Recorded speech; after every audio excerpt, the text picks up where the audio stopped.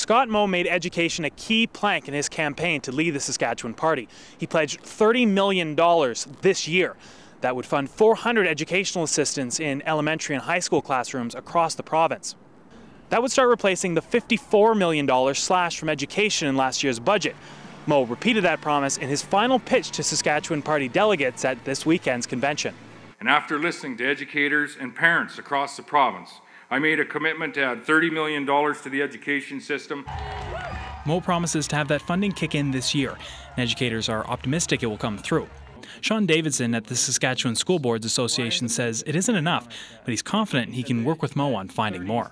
30 million is certainly a good start, but uh, it's likely not going to cover all the pressures that school divisions are are facing. But I think as Mr. Moe gets into the role and he's made a commitment to engage with the sector, I think that we'll be able to to uh, outline exactly where our position is and uh, and exactly what we need. Optimism like this hasn't been seen for a while among Saskatchewan educators.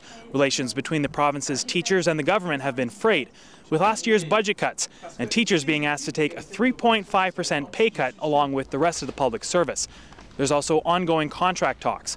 The president of the union, representing educators in the province, says he has a positive relationship with Moe and they can work together on these issues. I found him to be respectful and, and trustworthy, so I have no reason to doubt that he's not going to focus on education and bring the, the funding that he's committed.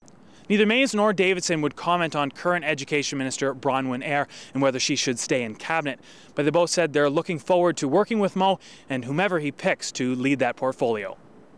Alex Brockman, CBC News, Regina.